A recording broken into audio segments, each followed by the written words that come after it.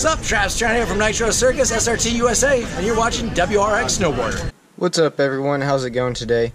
I wanted to show you a mod that you can do yourself for about five or six bucks, even less than that.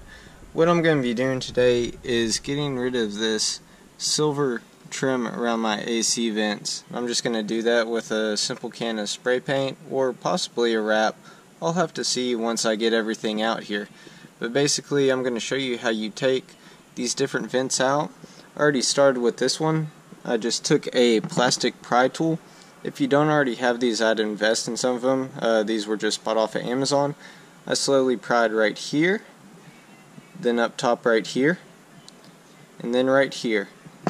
And as you can see, this vent just comes straight out, nothing attached to it. And you can see one, two, and then up top here, there's just a little bit of a lip so once you get that removed, everything else just pops right out. Now I'm going to start working on the back here and let you know how it all works and functions to be able to get this plastic trim off. On the top you can see there's two clips, one there, one there, as well as two on the outside. Just use a flat head and pry at it. It doesn't matter if you leave a mark since you're not going to see that part. As well as on the bottom there's two pieces at the bottom right there where you can see those little marks. Once you have those released, you just want to, uh, actually just a tip is just to pull with a little bit of tension as you're doing this and you can kind of wiggle it out. Once you get this piece off, you're going to see two tabs there at the bottom. Then up here it just looks as if you just kind of pull this out. So I'm going to start with these two tabs here at the bottom and work this piece off. Here there's three on the top and one on the side. Once you get those three done, you're able to remove this plastic trim. Now again with this pry tool here, I just started right here, up here, got a little on the top, and then just start on the bottom and it popped out that other side. So once you have this removed, you're going to fold it down, or actually you can lift it up. And there's two connections right here.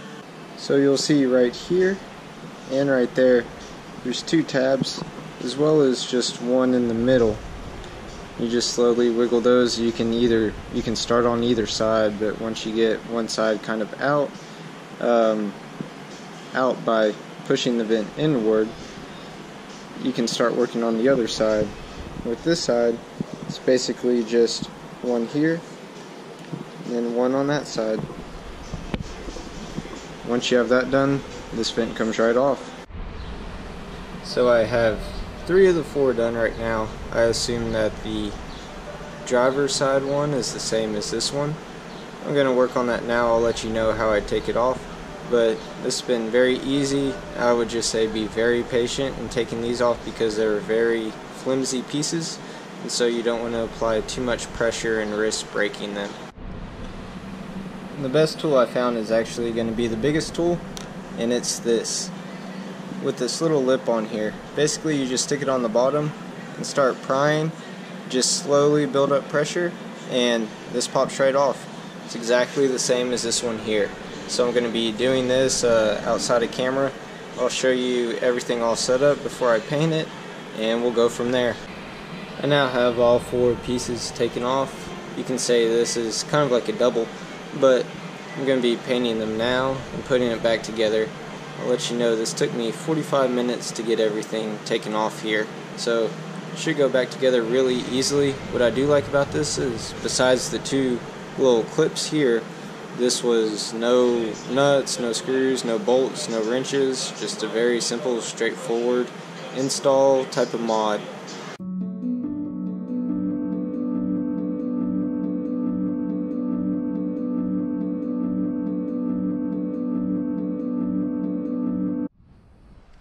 So I have everything painted now. It looks really good. Definitely a big change. Uh, this whole project took about two and a half hours, but mainly that was just waiting on paint, so it wasn't as if I was actually involved doing something. I was just waiting for the coat to dry. What I did was three layers of black. Um, it's a Rust-Oleum paint and primer gloss, Then I did two layers of a clear gloss on top of it. This was just a very clean, simple install. I Wanted to thank uh, a guy named Patrick. He his YouTube was the one that I was able to get this idea from. So just to let y'all all know, this idea was not mine. I watched a video showing how to take this off and then figured the sides out for myself.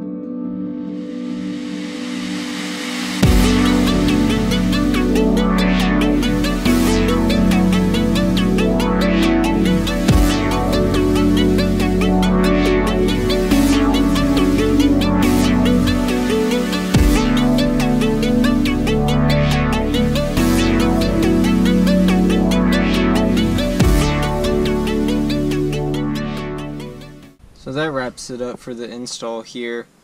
Hope you guys enjoyed watching this video.